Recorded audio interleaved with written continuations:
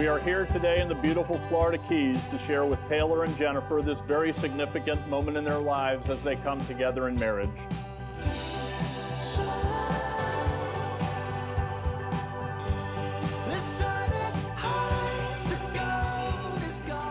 I, Taylor, take you, Jennifer, to be my wife.